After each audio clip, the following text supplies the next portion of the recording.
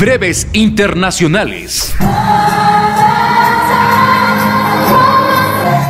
Esa fue la última canción interpretada por la cantante Ariana Grande tras las bombas que estallaron y dieron lugar a la tragedia que embiste hoy a Manchester y a todo el mundo tras el ataque suicida en el que fallecieron 22 y 120 resultaron heridos. Miles de asistentes en promedio, menores de 15 años, que fueron a ver a su ídola, la cantante Ariana Grande, fueron víctimas de enormes explosiones en el recinto del Manchester Arena a eso de las 10.30 de la noche, hora local. Recinto con capacidad para 21 mil personas. Minutos después de la explosión, testigos describen a gente corriendo y cubiertos de sangre. Entre las víctimas se han identificado 10 menores fallecidos. El jefe de la policía, Ian Hopkins, dijo que se creía que el atacante suicida que murió en el lugar portaba un artefacto explosivo casero. Se trata de Salman Abedi, de 22 años de edad. Nació en la ciudad y se cree que es de origen libio. El Estado Islámico, ISIS por sus siglas en inglés, ha asumido la autoría del atentado según un comunicado publicado por uno de sus medios de propaganda. Familiares de los jovencitos y niños desaparecidos en el atentado no tienen noticias y cuelgan fotos de sus hijos en redes sociales con la esperanza de recibir noticias de su paradero. Destrozada desde el fondo de mi corazón, lo siento mucho, no tengo palabras. Así lo escribió Ariana Grande en su cuenta de Twitter. Por su parte, Teresa May, la primera ministra del Reino Unido, llamó al ataque como bárbaro y devastador y horrendo tras el discurso que dio en la mañana posterior al atentado en el concierto. Agregó que los terroristas no ganarán.